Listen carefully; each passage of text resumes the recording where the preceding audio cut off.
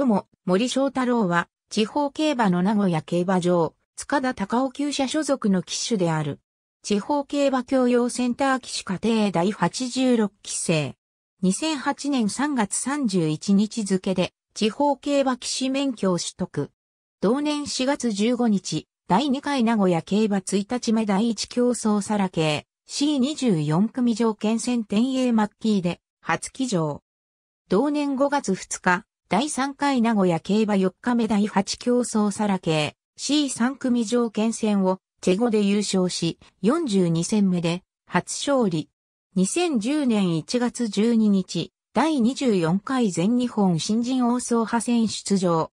2014年2月17日、第25回名古屋競馬1日目第1競争サラ系 C28 組条件戦を大西ホークで優勝し、地方競馬通算100勝達成。